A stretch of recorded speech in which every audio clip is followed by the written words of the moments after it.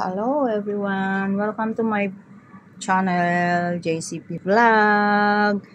Ito na po yung aking ano, uh, pinipray na dinner namin. Fry, uh, may broccoli, merong cauliflower, egg, and chicken fillet, saka pork. Ito sa amo ko lalaki, ito sa akin, ito sa bunso kong alaga. Ito sa amo kong babae. At ito si panganay.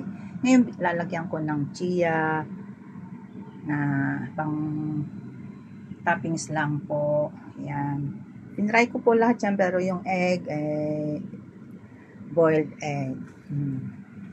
Napaka healthy po niyan. Po. Yan. Lagyan natin ng chia para masarap. At yan ay pampaganda. Pampa, ano lang siya. Ito po.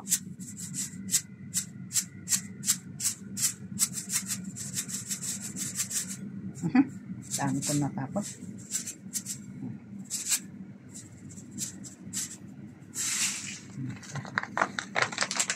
Dami natapos marunong na ito.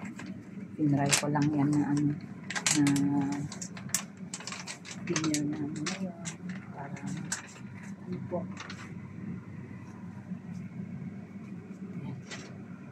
Salamat sa panonood.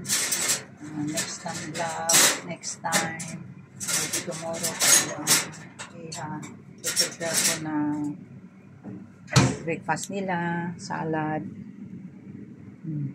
Pero ito ngayon, fry, yung ano, broccoli saka cauliflower, uh, pinoil ko lang saglit para hindi siya hilaw na kakainin ng mga alaga ko kasi hindi pwedeng kainin na hilaw sa kanila. Pwede sa amin na malalaki pero sa mga bata hindi po pwede. Salamat sa panunood.